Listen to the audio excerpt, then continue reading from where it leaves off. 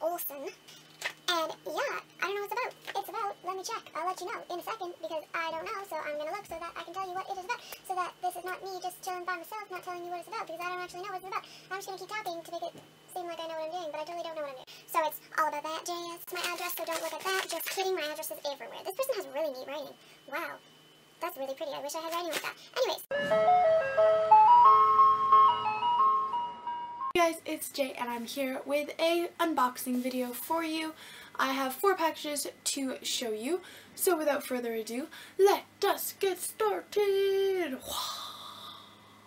The first package is from Kevin Olson from Laguna Hills, California. And it's a really, really thin book. I'm not 100% sure what it is. I'm assuming I want it off of Goodreads because pretty much all the books that I get are from there. The book is Roseblood, a Michael Quinn short story by Kevin Scott Olson, and it is only 26 pages, so it will be an extremely fast read. This book is about Michael Quinn, who is an ex-Navy SEAL, and his mission for this short story is to protect a Russian pianist, and he believes that her life may be in danger. The only problem is they don't know who the suspect is they're looking for, so he must be on alert at all times. So it's basically him protecting this pianist and and it's autographed. So that's super cool. Thank you, Kevin Olson Kevin Scott Olson not Kevin Olson, because you have a Scott in your name. The next package is from Simon & Schuster with Is in Toronto. What up, Toronto? Love ya. So the book is The Blackthorn Key by Kevin Sands and it is a mystery book about a boy named Christopher Rowe who's really good at solving puzzles. He's working for Master Benedict Blackthorn and he's working as an apprentice. All of a sudden a mysterious cult begins to prey on the streets of London and it is up to Christopher to solve the puzzles in order to find the Blackthorn key, which is going to save the world. The next book is from Jeremy Thomas from San Francisco, California. I don't know where my scissors are, so this is like not a fun time. Oh god.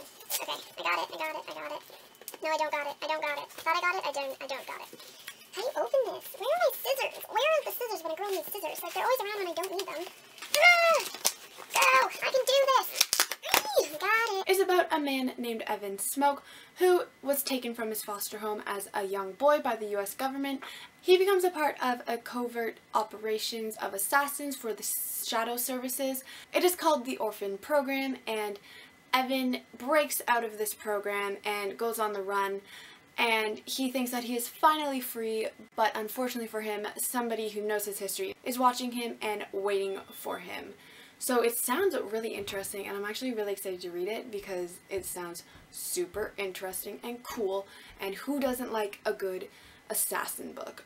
Just saying. So yeah, super excited about that one. Alright guys, so that was all four of the books that I received. I will see you in my next video. Goodbye! What is it about? I don't know. There's a sticker on it too, so screw you, sticker. No!